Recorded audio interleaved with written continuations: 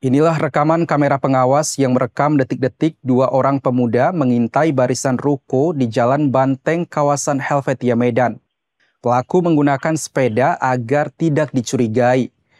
Kedua pelaku yang diperkirakan masih usia remaja ini memanfaatkan situasi sepi di mana para penghuni rumah sedang tertidur pulas. Pelaku yang menggunakan topi dan jaket ini langsung mengeluarkan benda Diduga kunci khusus dari tas yang dibawa oleh salah seorang pelaku. Dengan mudah pelaku membuka penutup meteran dan kemudian membuka drat meteran air tanpa kendala. Kurang dari dua menit, dua meteran air milik bangunan ruko berhasil dibawa kabur. Hafiz selaku pemilik ruko baru menyadari peristiwa ini saat pagi hari hendak menghidupkan air namun tidak mengalir. Korban kemudian memanggil tukang karena mengira keran airnya rusak.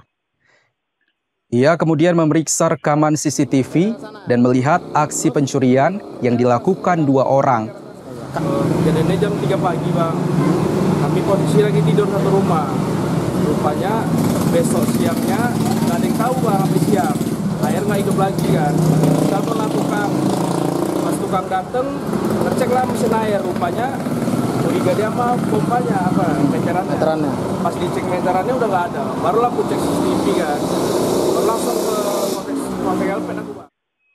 Atas kejadian ini, korban telah membuat laporan ke Polsek Medan Helvetia.